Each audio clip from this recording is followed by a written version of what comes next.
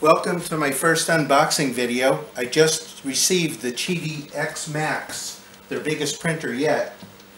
And I'm going to open up the box and take a look. The box itself is enormous, as you can see.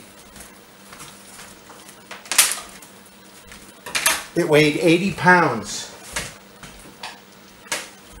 I gladly paid the DHL driver 20 bucks to carry it in because it's a very rainy day and also because it's so heavy. So this thing is so enormous. There's no way I'm going to be able to get it out of the box on the table here.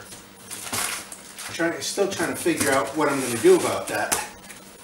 Thinking about cutting down the sides of the box because uh, there's no way, there's no way that I'm ever shipping this thing back to China. Oh yeah, that's the other thing. This printer is not sold on Amazon yet. It's on the boat right now from China.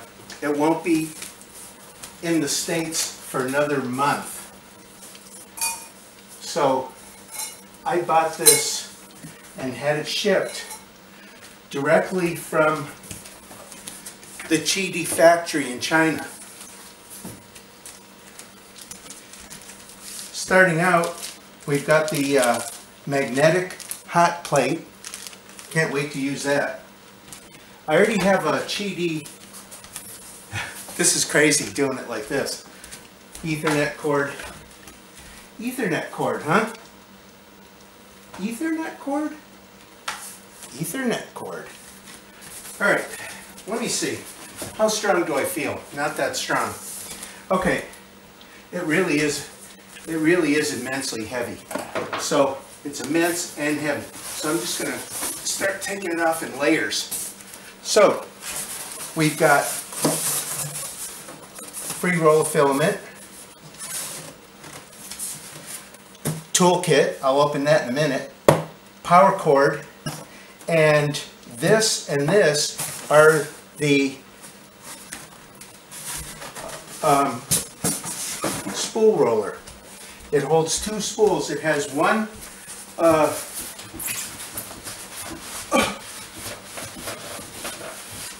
one print head and it can only print one color but you can place two spools on the holder at once so you can uh,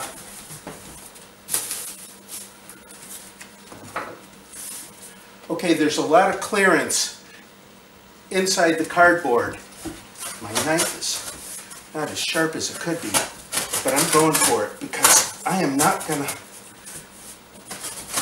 try to lift the printer out of the box and some of you are probably grimacing and saying, oh my God, destroying the box when it just came in. But, like I said, this weighs 80 pounds. I paid 400 bucks to have it shipped here. But, in the long run, it'll actually save me money because Okay, when this printer goes on sale on Amazon, it is going to cost about, I was told, about $1,500, uh, $15.99. And with shipping, I paid about 1500 bucks. So, I saved 100 bucks and got it a month early. I really am trying not to damage anything inside the cardboard because I've never actually cut the box off something like this before because I never got anything this big before by uh, package delivery. Alright, we're getting closer to seeing this printer. Now once it, once I do get the box all separated, I guess I will have to, oh, of course it would be backwards. Uh, of course I'll have to lift it up. Now, I'm going to turn the camera off for a minute while I lift it up because I don't want to embarrass myself. Okay, I'm back. That was a real workout. Having to take this out of the box and hoist it back up on the table. But as you can see, even without the box, it's still huge. So I'm going to try to do this carefully so I don't cut anything. This printer, something new you may have seen, a lot of the newer 3D printers, instead of using a, uh, a big snake-like bundle of uh, wires to the to the uh, print head, they use flat ribbon cables now. All right, not sure how this is supposed to come out, but I'll take a guess that I need to move the print head.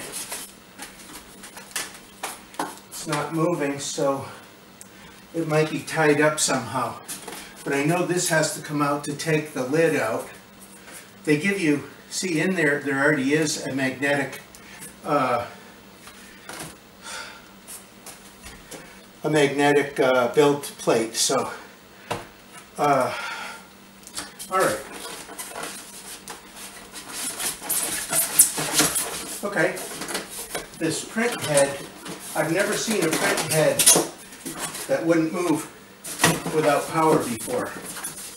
Uh, this one absolutely will not move because I notice when I try to slide it, the, uh, and I hope my face is somewhat in the picture, when I try to slide the head over, I can see the, uh, the belts kind of buckling a little bit. So there's, the motors are locked and I can't, um, I can't move the head.